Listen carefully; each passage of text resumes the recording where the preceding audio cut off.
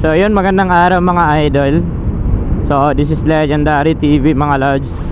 So for today's video mga idol Marami na nag-comment sa atin um, About sa sprocket combination ng SYM Ayan Sa mga SYM user po. So sa SYM user mga idol Halos kahawik lang din ng smash yung bigat. Halos hindi naman sila magkalayo ng diferensya Sa mga 125 underbone nila 110 100 so ngayon mga idol ano yung best sprocket combination na pang long rides natin? So pang long rides na iwas malakas yung vibration. So ito lang mga idol no? Um, kapag naggawa tayo ng or magsiset tayo ng uh, sprocket combination 2.7 below po yan. Ay yan po yung set na combination na uh, high speed high speed sprocket combination. Ayan, 2.7 below. So basically, basically mga idol kung paano natin nakuha yung ratio na yan ay i-divide lang po natin yung sprocket natin sa likod. I-divide natin sa ating engine sprocket. So makukuha natin yung ratio ng ating sprocket. So doon pa lang mga idol ay malalaman na natin kung ito ay high speed or sa low speed. So make sure yung ating ratio na ano ay 2.7 pababa. So mga high speed combination po yan mga idol. So depende na po yan sa inyo mga lods kung anong sprocket ngipin ng sprocket na gagamitin nyo. Uh, as long as pasok doon sa ating 2.7 below ratio.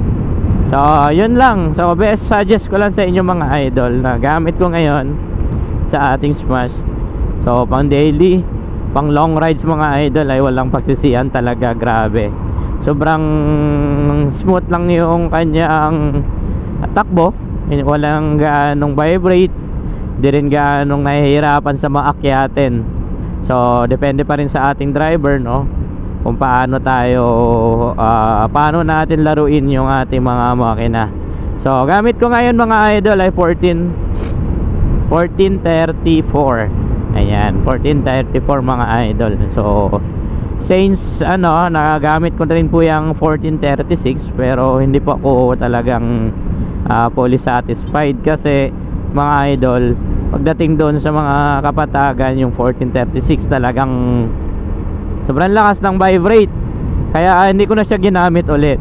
Ngayon, nagstay na ako doon sa 1434. So, hindi ko pa nasubukan yung 1536 mga idol. Sabi nila ay maganda daw yung combination na yan. Kaya possible. Next ano natin ay yan po yung gagamitin natin. Ayan 15 36 ayan susubukan natin yan yung kanyang uh, performance mga lods. So yan lang mga idol no? Sana nakatulong yung ating counting tips para sa mga SYM users natin. So ride safe po lagi mga idol no? Magsuot po tayo ng helmet. Ayan mag full gear po tayo kapag may long rides So, yun lang mga idol, no? Ride safe po sa inyo lahat. Ingat po. Paalam.